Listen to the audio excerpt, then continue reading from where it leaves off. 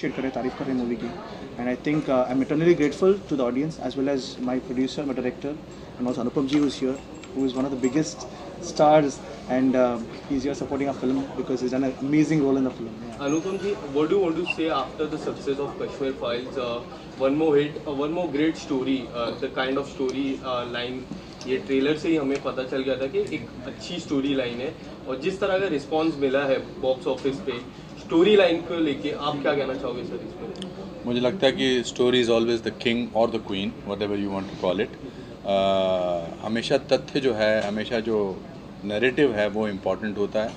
और ये मेरी खुशकिस्मती है कि कश्मीर फाइल्स जो कि ऐसी कोई एंटरटेनिंग फ़िल्म नहीं थी मगर सच पे आधारित थी।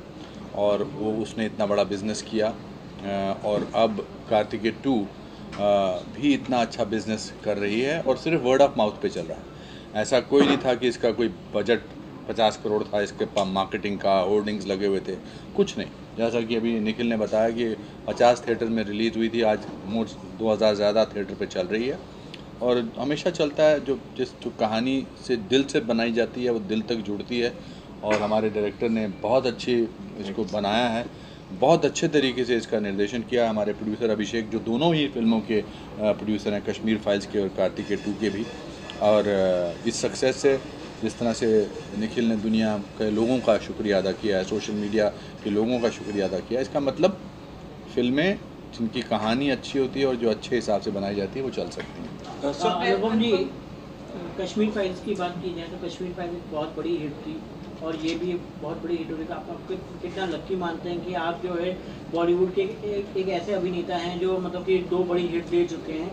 यहाँ पे बॉक्स ऑफ़िस जो है फ़िल्में बड़ी बड़ी फ़िल्में चल रही मैं बड़ा कोशिश कर रहा हूँ कि ना मुस्कुराऊँ मेरा दिल कर रहा है मुस्कुराऊँ आप, आपकी बातें मुझे बहुत अच्छी लग रही हैं। और बोलते जाओ। तो आपके कैसे एक्टर हैं सर की जो मतलब देखिए मैंने अपने अड़तीस साल के करियर में और 530 फ़िल्मों में काम कर चुका हूँ मैं। ऐसा नहीं है कि मैंने उतार चढ़ाव नहीं देखे हैं बहुत उतार चढ़ाव देखे हैं।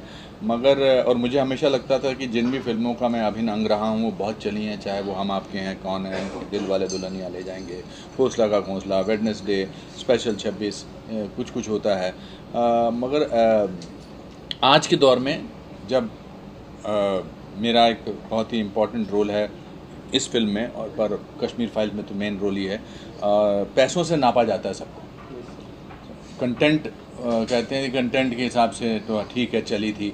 मगर अब पैसों के हिसाब से देखा जाए तो 350 करोड़ आ, कश्मीर फाइल्स और ये तो भी गिनती शुरू हुई है इसकी।